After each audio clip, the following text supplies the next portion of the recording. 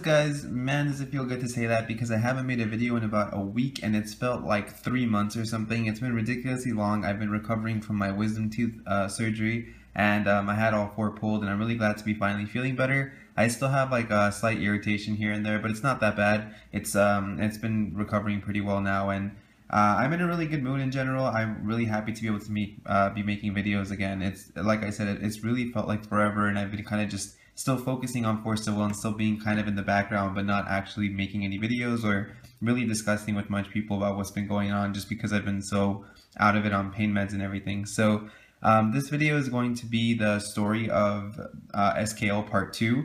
Uh, I'm not going to name it Part 2 because I feel like it looks shabby. Um, I'll think of something creative um, while I'm filming. I don't really have anything in mind, but um, this is the interaction after uh, the whole Faria and Alice incident. So if you haven't seen that video, make sure to watch. I think I named it Genesis. So the SKL Genesis video will be part one. This video will be part two. And without any other like announcements or interruptions, let me get straight into the story of SKL after Genesis.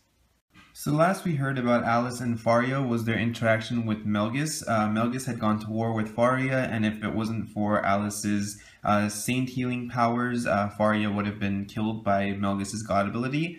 Uh, Faria explains to Alice that in this world there are seven kings that kind of just uh, in conjunction rule over the world, but they're not all really friendly and they all have like their disputes and whatnot.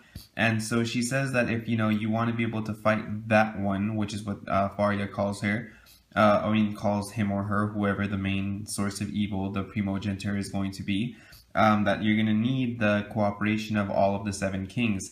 And she explains that she herself will talk to Melgis because now after surviving his God's Art, he might have some sort of uh, respect for him, for, for Faria, I mean. And um, so that might be a way that they can get Melgis on their team. She explains that uh, Pricia is, um, she doesn't uh, want anything but peace. She's just very like uh, nature friendly and uh, she shouldn't be too hard to convince because she is just so peaceful and wants nothing but uh, the well-being of everyone. She says that Arla is an honorable man, and of course, as an angel, it's his right to kind of protect the realm and whatnot. So she's not too worried about Pricia and Arla, and she says that she herself will talk to Melgis, so it shouldn't be too much of a problem. Uh, and then she tells uh, Alice that she should go talk to Valentina, as uh, Valentina has kind of this weird obsession with things that are beautiful. And when Alice asks Faria, well, you know, why do you want me to be the one to go talk to Valentina? Faria explains that you're just, you know, beyond beautiful and she'll find such interest in you that she might be actually willing to listen to why you want to, um, you know, get everyone together and what we need to do to kind of like save this world.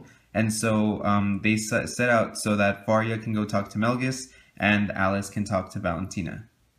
So Alice sets off for Shangri-La, which is the paradise on the ocean. Uh, this is a city that's literally built on water, and it's where Valentina rules.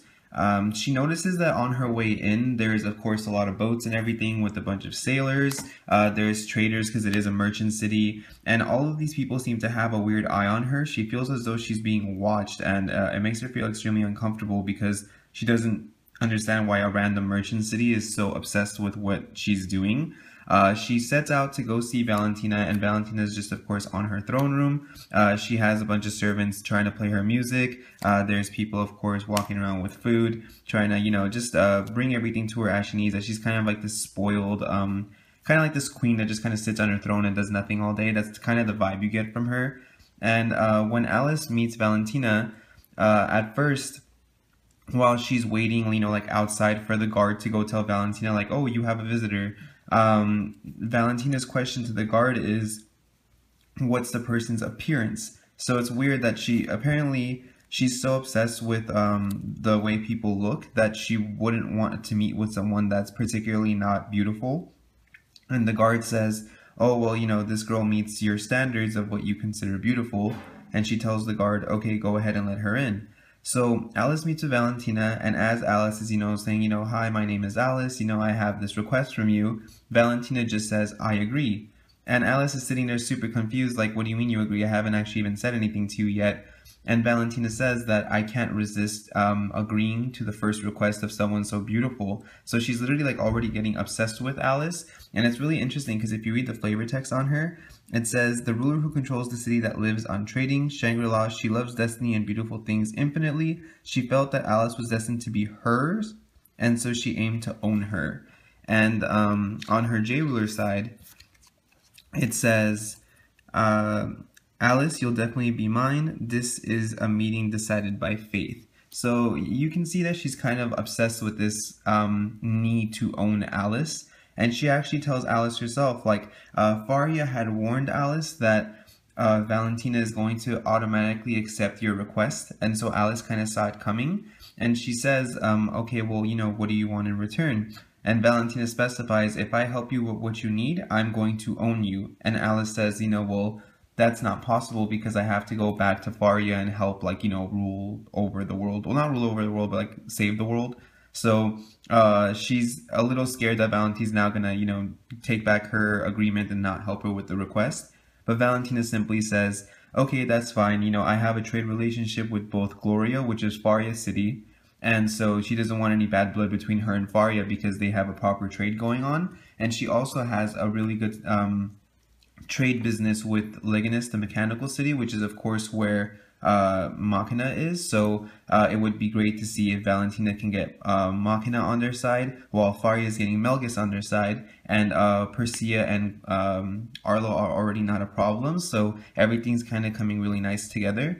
And um, there's no mention of Rezard, which is really interesting. It's not even said that, oh, you know, he's going to be the hardest one to convince. There's literally just absolutely no mention about him. So we might see him in the next part of the story, which would be really interesting because I'm dying to see what his angle is on everything because all the art that's coming out for the new set, you see him with a bunch of cards and he's standing just like this picture of Alice, but almost mirrored when he has all the playing cards instead. So it's just really interesting. I want to see why he's connected to Alice in this weird way. So um, there's no mention of Rezard, and um, so yeah, Valentina says that's fine. I'll agree upon your request to get everyone together. I will talk to uh, Machina and see if we can get this meeting started.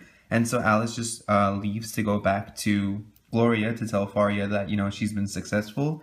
And as Alice leaves, Valentina kind of starts talking to this like shadow that's uh, really close to her, and it's it's a girl that's wearing like this twilight clothing and she has a black cat, which is of course we know as Dark Alice. And Dark Alice says, "Well, what do you plan to do now?" Um, and Valentina says, "Well, you you told me Alice would come, and she did, and everything will go as intended. Um, I'm going to rule, and Alice will be mine." So it's really interesting how that plays out. You can tell that um, Valentina is kind of just crazy, as we've seen from the trailer of the new thing, which is, I guess, somewhat spoilers, which kind of sucks um, that we already know somewhat what's going on. But um, Valentina is apparently going to work with Dark Alice to take control of all the um, Seven Kings and make them evil. We just don't know how uh, Rezard and Machina fall into this story. So it's still interesting to see how that's going to play out. That's everything that happens in this part of the story. So make sure you like check in for the next one. I'll be updating you guys as always. If you guys haven't subscribed yet, make sure you do because I have a ton of more content coming this week. And I will catch you guys next time.